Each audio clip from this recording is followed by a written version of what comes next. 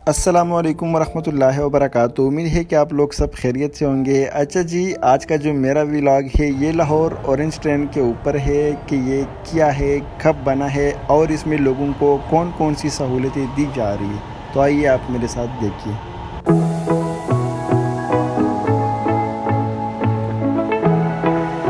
कान का जो मशीन है, इसके इस्तेमाल करने का तरीका बहुत ज़्यादा आसान है। इस पर इंग्लिश और उर्दू में सब कुछ लिखा है। बाकी अगर आप नए हो, आपका कोई आई मतलब आपको कोई आइडिया नहीं है, आप फ़र्स्ट टाइम सफ़र कर रहे हो तो इनको अक्सर पता नहीं होता। पहले तो मुझे खुद आइडिया नहीं था। मैं लाइन में खड़ा था, लेकिन बाद में जब पता चला तो पैर में मतलब आ गया। वहाँ से फिर मैंने ये टोकन रिसीव किया। इसमें ये होता है कि मशीन के अंदर आप नोट डालते हैं तो वो आपका नोट रिसीव करता है और आपने मतलब जहाँ तक जाना है वो आपने इंटर करना होता है। बकाया वो आपको नीचे खुद ही देता है, साथ में टोकन भी देता है। और टोकन अगर आपसे गुम हो गया तो इस सूरत में फिर आपको 150 आई थिंक, ये जुर्माना पे करना पड़ेगा। लाहौर औरेंज ट्रेन का अफ्ताह 2015 में हो गया और ये तकरीबन पाँच साल में कंप्लीट हो गया। 2020 में इसको स्टार्ट किया गया था और इसको हम मास ट्रांजिट मंसूबा भी कहते हैं। ये मंसूबा सी पैक का एक हिस्सा है। ये तकरीबन सत्ताईस किलोमीटर का ट्रैक है इस इसमें डेढ़, पौने डेढ़ किलोमीटर अंडरग्राउंड हर ट्रेन में पाँच बोगियाँ लगी होती है, जिसमें तकरीबन आलमोस्ट काफ़ी सारे पैसेंजर ट्रेवल कर सकते हैं। और इसमें तकरीबन डेली दो लाख पचास हज़ार पैसेंजर जो है वो सफ़र कर सकते हैं। ये सुबह छः बजे से स्टार्ट होती है और रात दस बजे तक चलती है। इस मनसूबे के लिए तकरीबन टोटल सत्ताईस ट्रेनें ख़रीदी गई हैं। ट्रेन अली टाउन स्टेशन से शुरू हो जाती है और डेरा गुजरा तक ख़त्म हो जाती है। मतलब लाहौर के एक इंड से लाहौर के दूसरे इंड तक ये ट्रेन जाती है। ऑरेंज ट्रेन के अंदर ख़वातीन, बच्चों और बूढ़ों के लिए अलग नशस्तें रखी गई हैं और मज़दूरों के लिए अलग नशस्तें जोड़ी गई हैं, स्पेशली। लाहौर, पाकिस्तान का वाहिद शहर है, जिसके अंदर ट्रेन ने सफ़र करना शुरू कर दिया है। इससे पहले कराची में भी ट्रेन चला हुआ करता था, लेकिन उसको फिर बंद कर दिया गया कई वजूहत की वजह से। और दूसरी बात ये कि लाहौर अगर आबादी के लिहाज से देखा जाए तो आबादी के लिहाज से पाकिस्तान का सबसे दूसरा बड़ा शहर है। इस ट्रेन का किराया सिर्फ़ चालीस रुपये है, बल्कि अभी तो इन्होंने तीस रुपये कर दी गई हैं। ये ज़्यादा महँगाई की वजह से। इस मनसूबे के लिए टोटल सत्ताईस ट्रेनें ख़रीदी गई हैं और इसका लेंथ भी तकरीबन सत्ताईस किलोमीटर है। इस रूट के लिए तकरीबन टोटल 26 स्टेशन बनाए गए हैं, यानी टोटल इसके 26 स्टॉप्स बनाए गए हैं। इस स्टेशन में दो स्टेशन अंडरग्राउंड है और बाकी सारे स्टेशन फ्लाई ओवर हैं।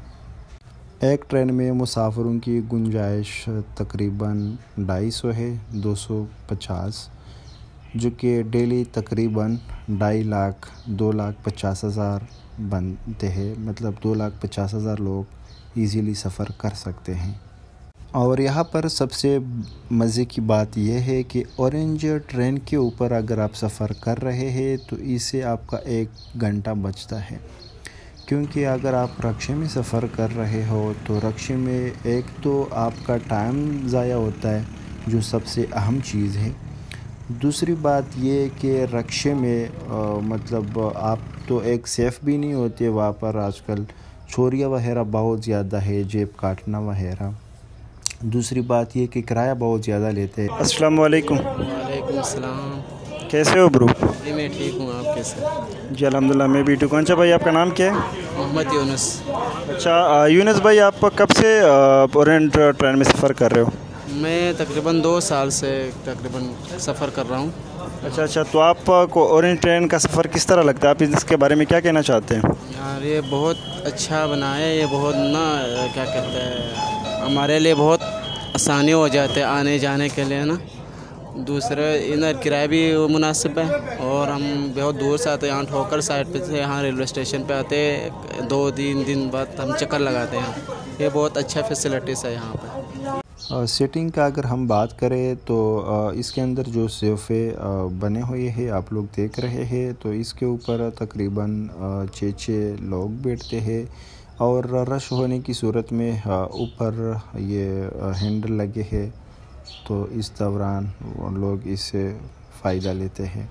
जो लोग पहले रक्षुम पर सफ़र करता था, स्पेशली मुल्तान रोड वाले, वो इसकी अहमियत का अंदाज़ा लगा सकते हैं कि उस पर हुकूमत पाकिस्तान ने कितना बड़ा रहम किया है। यहाँ पर बहुत ज़्यादा रश होता है। रश होने की वजह से गर्द गुबार और काफ़ी सारे मसले मसाइल होते हैं और आप ट्रेन में बस इजीली बैठ के सफ़र कर सकते हैं। वेंटिलेशन एसी सब कुछ बने गए हैं। जिस तरह आप ट्रेन में बैठते हो ये ऊपर लाइटें खुद ब खुद ऑफ़ हो जाती है। मतलब आपको इजीली पता चल जाता है कि अब मैं किस स्टेशन पर पहुँच गया हूँ। अस्सलाम वालेकुम भाई। वालेकुम अस्सलाम। कैसे हो? जी अल्लाह का शुक्र। अच्छा भाई आप ऑरेंज ट्रेन में कब से सफ़र कर रहे हो? जी मुझे कोई एक डेढ़ साल हो गया इसमें सफ़र करते हुए। अच्छा अच्छा तो आप सफ़र के दौरान किस तरह फ़ील करते हो ऑरेंज ट्रेन में सफ़र? ऑरेंज लाइन ऑरेंज लाइन का जो सफ़र है वो पाकिस्तान में बाकी जो पब्लिक ट्रांसपोर्ट है उसकी नस्बत बहुत कंफर्टेबल है। और इसके अंदर आपका टाइम भी बचता है और आप अपनी डेस्टिनेशन के बहुत नज़दीक जाके भी पहुँच जाते हैं। तो बाकी ट्रांसपोर्ट की नस्बत ये एक बहुत अच्छा जो है वो इसका सिस्टम है चलो जी thank you so much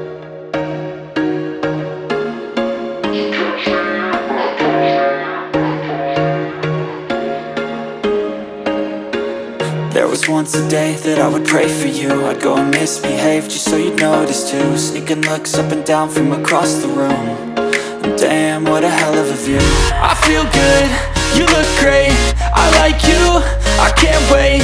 A first time, a first date. You're so fine, I'm so वालेकुम सलाम। क्या हाल है भाईजान आप सुनाएँ। जी अलहमदिल्ला मैं भी ठीक हूँ। अच्छा भाई आप ये बताएँ कि ऑरेंज ट्रेन में आप कब से सफ़र कर रहे हो?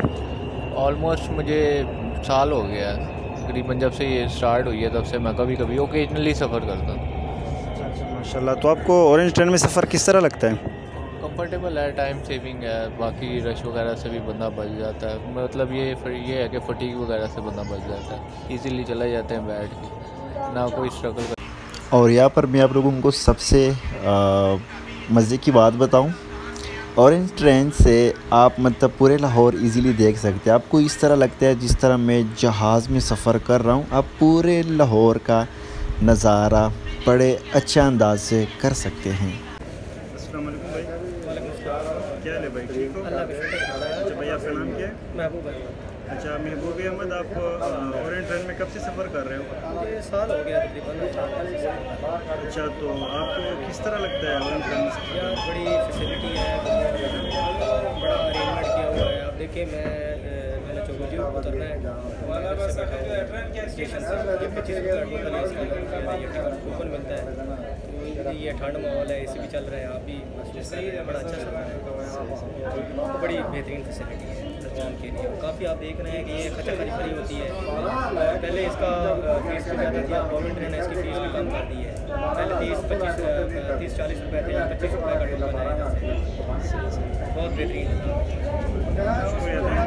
हर ऑरेंज स्टेशन के ऊपर स्पेशल लिफ्ट का अहतमाम किया गया है बुज़ुर्गों के लिए ख़वान के लिए? मेट्रो, ट्रेन, लंदन, पेरिस और जापान जैसे तरक्की याफ्ता ममालिक में सिर्फ़ चलती है और पाकिस्तान जैसे तरक्की पजीर मुल्क में इस तरह का ट्रेन चलना किसी मोजे से कम नहीं है। ये ट्रेन हुकूमत का या किसी पार्टी की तरफ़ से कोई सरमाया नहीं है, बल्कि ये आवाम का अपना सरमाया है।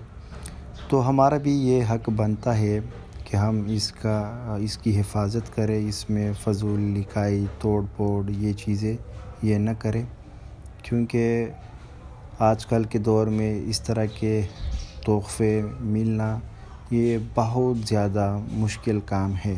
और मेरी आप सबसे यह अपील है कि खुदा दारा इसकी सफ़ाई से लेकर हिफाजत तक बहुत ख्याल रखे।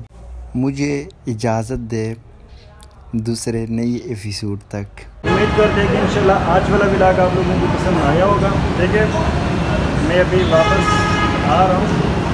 पूरा लाहौर देख के, सारे स्टेशन देख के मैं अभी वापस जा रहा हूँ अपने पर।